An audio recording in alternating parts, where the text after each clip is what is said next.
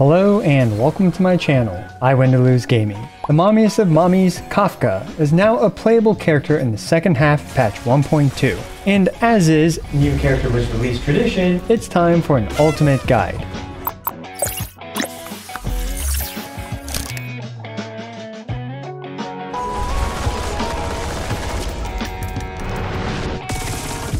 Kafka has been one of the most anticipated characters in Honkai Star Rail for her mommy status, and not just based on her assets, but because she literally mommied our main character into existence by materializing us out of nowhere and shoving a Stellaron inside. Kafka is a lightning character that walks the path of nihility. In this video, we'll be going over so many things about her, including her traces, her relics, stat priorities, her light cones, teams and playstyle, eidolons, and finally, my thoughts and opinions on Kafka.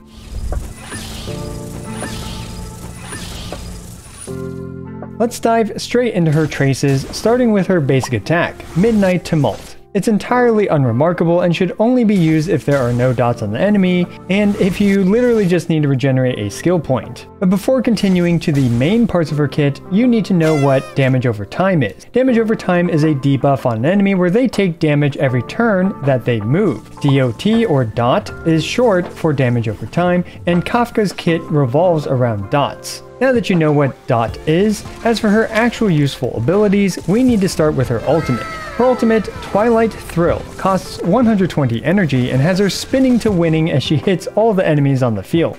Most importantly, it also applies a very large shock effect onto the enemy. 290% shock multiplier at level 10 is quite a lot and it lasts for two turns. And with her major trace, it also triggers any dots on the enemy to tick and deal damage.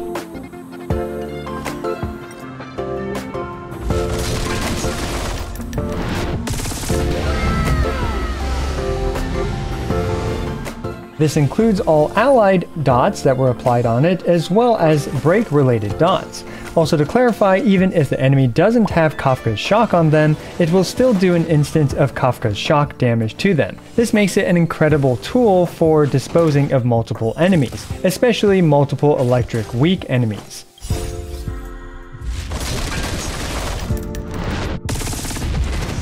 Another point worth noting is that while it triggers every dot on the enemy to do damage, it doesn't reduce the duration of the dot on the enemy. You're just getting literally a free activation of all the dots on the enemy. And finally, all dots deal damage based on the stats of their appliers. I'm planning on making a much more comprehensive guide on dot mechanics as well, so stay tuned for that. If you can't tell, well, her ultimate feels very good to use, especially with a bunch of dots on the enemy. Up next is her skill, Caressing Moonlight. Impossibilities of caressing a beam of light reflected off the moon aside, Kafka deals 160% attack scaling damage to the primary target. More importantly, her skill also activates any dot on the enemy, dealing 75% of all dots on the enemy at level 10.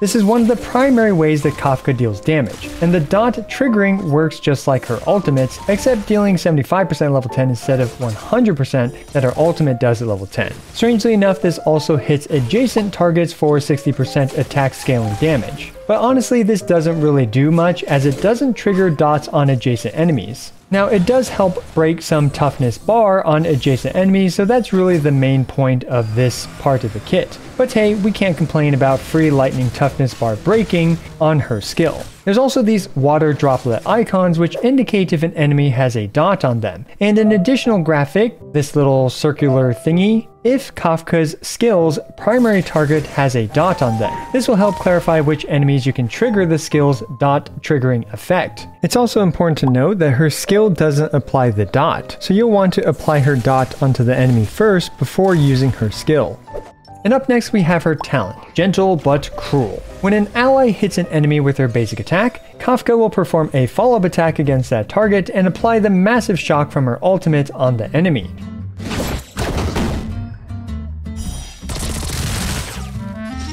It has a one turn cooldown and it only hits one enemy. This is a great tool for spreading Kafka's shock on additional enemies and also encourages her teammates to use a basic attack after Kafka's turn. Last but not the least, we have her overworld technique. Mercy is not forgiveness. Edgy yet beautiful trace name aside, it deals some lightning damage to all enemies and more importantly applies her ultimate's shock to all enemies. This thing also has a massive circular hitbox allowing you to simultaneously engage enemies that are very far apart in the overworld and apply shock to them. It also has the best battle engagement camera angle in the game if you know what I mean.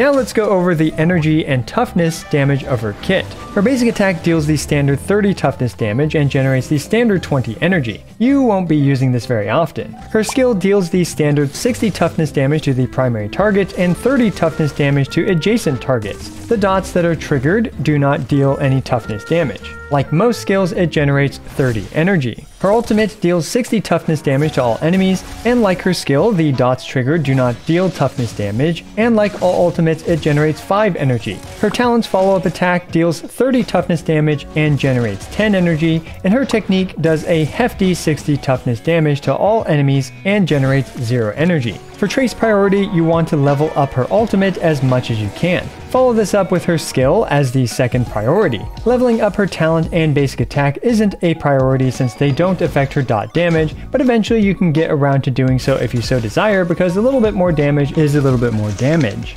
As for how you generally want to play Kafka, you should first apply her ultimate dot to the enemy via one of the three ways to do it. Her technique, her talent, or her ultimate. Then you want to spam her skill as much as possible on enemies that have dots on them. And you also want to spam her ultimate as much as possible because that will do a lot of dot damage. Every couple of enemy turns you'll need to refresh her dot via her talent or her ultimate. And every turn that Kafka takes you should try to have an ally do a basic attack so that she can activate her talent. That pretty much summarizes her playstyle in a nutshell.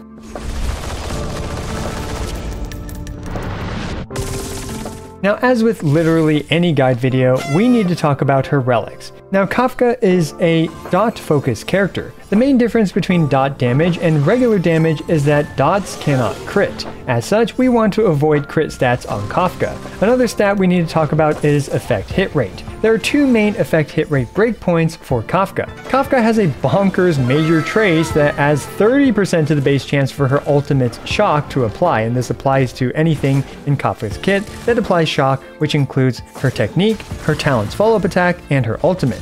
This brings it to the never before seen, at least I think, 130% base chance. At 130 base chance, Kafka only needs 28% effect hit rate to achieve a 100% chance for her to apply her ultimate shock, to a high level memory of chaos enemy. Now her signature light cone also has a shock, albeit a much smaller shock, with a 100% base chance to apply. If you want this thing to have a 100% application, you'll need a much higher 67% effect hit rate. Personally, I recommend just going for the 28% for Kafka's ultimate shock, as the light cone's shock is mainly just a bonus and not really a necessity. 28% is reasonable to achieve through substats alone. Now let's talk about her 4-piece relic options. The overall best option for her is the Band of Sizzling Thunder. You absolutely want to spam her skill to activate dots on the enemy, and as such, you'll have excellent uptime on the 20% attack buff that this thing provides. Again, dots scale off attack, so the 20% attack is very good. Another attack focus set is the 4-piece Champion of Streetwise Boxing. This thing does have a bit of ramp up time, but it does provide 25% attack, and is actually pretty close in performance to the 4-piece Sizzling Thunder. A sleeper pick on Kafka is the 4-piece Genius of Brilliant Stars. Against a quantum weak enemy, this thing can actually outperform the Sizzling Thunder, since the defense multiplier is less common than things that boost attack. Still, it's more situational and feels weird to use on a lightning DPS character, and the enemy certainly won't always be quantum weak. Next is the Thief of Shooting Meteor. I think this set has a lot of potential as increasing the damage that the break dot does will also significantly improve Kafka's damage output. The energy it provides when breaking can also come in clutch and can shorten the amount of turns she needs to do her ultimate. However, you need to break with Kafka, and oftentimes the enemy is dead before you even manage to break them. This will need more theory crafting to flesh out and is likely to be much more situational, but it definitely has some potential. Lastly, you can consider the Musketeer of Wild Wheat, as if it helps you reach 134 speed, Kafka will be able to go twice during the 150 action value first Memory of Chaos turn, which can hugely save a lot of turns in Memory of Chaos if you're able to wipe out a couple waves in the first Memory of Chaos turn. Up next, we have her two-piece set options. The Space Sealing Station is a no-nonsense set that simply provides 24% attack if you reach 120 speed, which for Kafka, it's highly recommended that she has a lot of speed. The Pangalactic Commercial Enterprise is good if you're able to get a chunky amount of effect hit rate, for her signature light cone to be more consistent, but you do need a lot of effect hit rate rolls in order for this thing to honestly be worth it. Funnily enough, the Fleet of Ageless is usable on her, and she will benefit from the 8% team-wide attack boost, which will also boost her teammates, but overall I think the 24% attack from the space sealing station is much more valuable. The two-piece Talia provides a lot of break effect, which requires more theory crafting and also requires Kafka to have a lot of speed to fully utilize, but I can see some potential for this two-piece set. And finally, while generally not recommended, there are some niche situations for the sprightly Vonwacq to allow for two-turn Kafka ultimates. But alas, I don't really think that's worth it. So let's talk about main stats next. Since dots are the focus of Kafka's kit, an attack percent body is her best option. She scales very poorly off of crit stats, which is why I have not recommended them. Now some people might consider effect hit rate, which if you have no effect hit rate on your substats you can consider it, but considering you'll probably have around 20 to 30% effect hit rate through your substats, I highly recommend attack percent for the body. For her boots, I think that the more she moves, the more often she'll be able to trigger all the dots on the enemy, and the more energy she gets, and therefore the more ultimate she can spam. And this is especially so if you can hit 134 speed for her to go twice in Memory of Chaos. As such, I think speed boots is the way to go. However, attack is also a viable option. Up next is the sphere where lightning damage is by far and away the best option. As for the link rope, I recommend an attack percent link rope, although there are some niche situations where you can have her ultimate up one turn sooner thanks to the energy recharge rope, so if you do want to try that out, feel free to. And I haven't theory crafted break effect enough to say if that's a good option, so as such, I just recommend an attack percent rope because it's guaranteed gains and completely unsituational. For substats, you'll want as much attack percent as possible and enough speed to hit 134 speed. Then you'll want effect hit rate with a goal of 28% for 100% shock application from her ultimate shock. Break effect is good as well because if Kafka can break the enemy, that is more dot damage. Finally, flat attack is decent, but the flat attack provides much less attack than attack percent does. Lastly, but not the leastly, some effect resistance can come in clutch.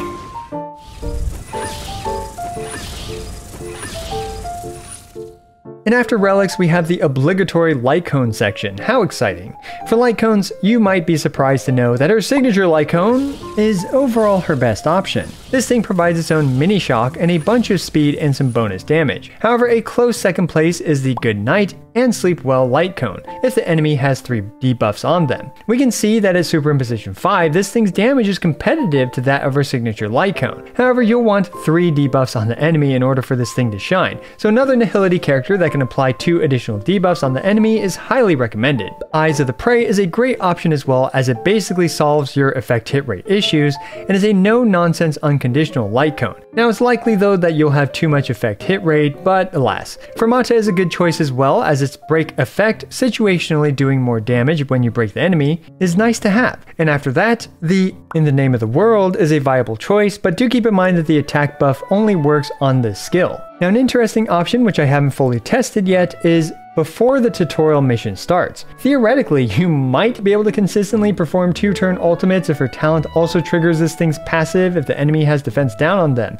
So this alone could be worth it, but until further testing is done, I'm going to leave this thing with a tentative question mark for its rating.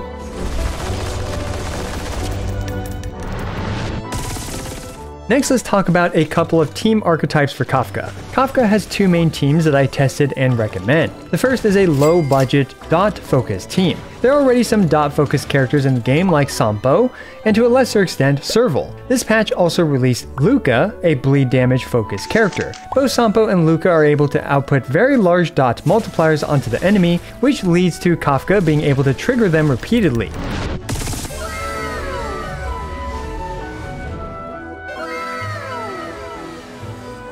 On top of that, both of these characters actually increase dot damage taken by the enemy. Combining said dot characters along with any survivability you might need will instantly build you a strong Kafka team. For example, a team with E0 Kafka, Sampo, Luka plus a healer is a great place to start. Even without any Eidolons on any of these characters, this team feels already quite powerful.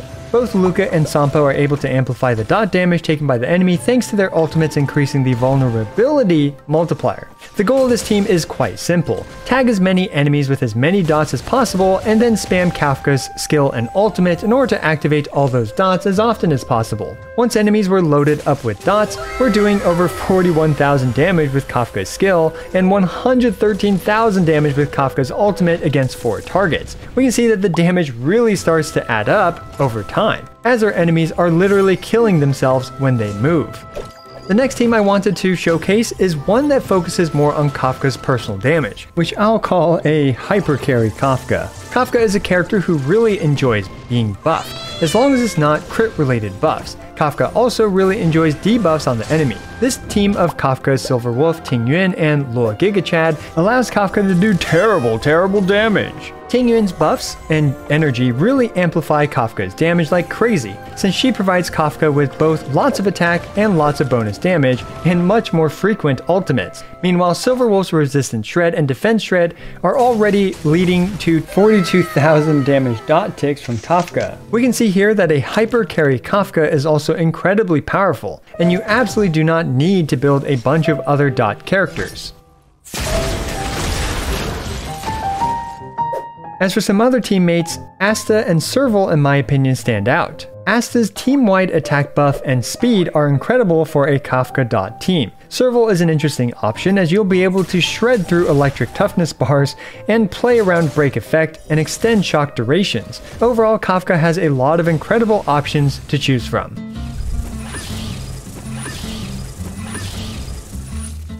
Now let's blitz through her Eidolons before we get to the closing statements and my final assessment of her. Eidolon 1 should increase the vulnerability multiplier to dot damage by 30%, which is obviously an incredible Eidolon. The only drawback to this is that you'll want more than 28% effect hit rate since this thing only has a 100% base chance. Eidolon 2 increases dot damage for her entire team by 25%, and Eidolon 4 will require a lot of additional testing, but could solve Kafka's energy issues and lead to 2-turn ultimate rotations. Eidolon 6 adds a massive 156% additional multiplier to her ultimate shock damage and extends it by a turn for good measure. By the time you're at Eidolon 6 with her Super Imposition 5 Light Cone, Kafka's skill will deal around 213% of an E0 S1 Kafka. Her dots will do 261% and her ultimate will do 242%. Basically, she'll be roughly 2.4ish times stronger than an E0 S1 Kafka at E6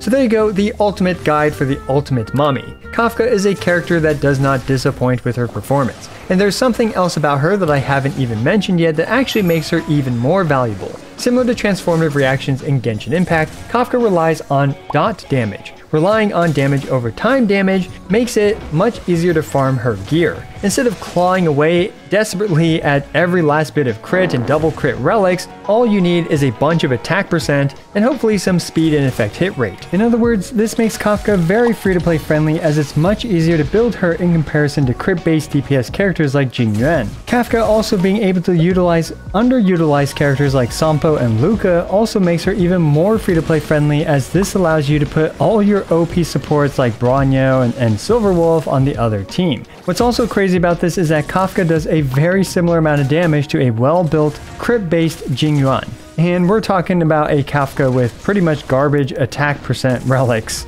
So yeah, let me know what you think about our favorite Stellaron Hunter down below. As always, I appreciate every single one of you. This is I Win to Lose, signing out.